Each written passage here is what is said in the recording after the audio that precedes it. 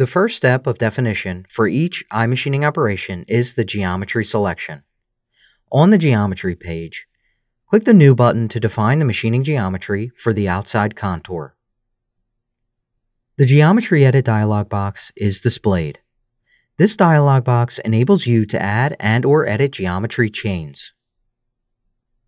When this dialog box is displayed, you can pick entities right off the solid model for the geometry definition. When defining geometry in iMachining, it is important to note that the geometry is defined as a pocket that can be open, closed, and or semi-closed which means containing open edges. This simple part is a perfect example showing all these types of geometries. Also note that the chain selection order is important when defining geometries in iMachining. For the first operation, the geometry is defined as an open pocket with island. There are several chain selection options available. The default option curve will be used. In the graphics window, pick on the top edge of the stock model as shown.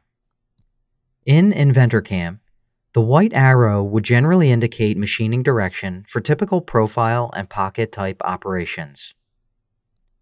However, no matter the direction of the chain geometry, iMachining will generate morphing spiral toolpaths that always perform climb cutting.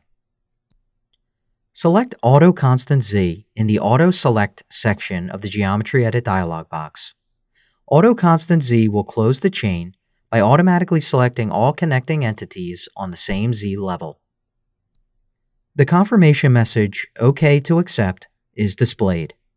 Click the Yes button to accept the selection. The chain icon is displayed in the list. Next, pick on the top edge of the target model as shown. Select Auto Constant Z and click Yes to confirm the chain selection. Chain 2 now appears in the list. In the chain list, right-click the outer chain, Chain 1, and choose Mark Chain as Open. This selection will enable the tool to approach from the outside and start machining from this chain. At this stage, the geometry is defined. Click Finish to confirm the geometry selection and exit the Geometry Edit dialog box.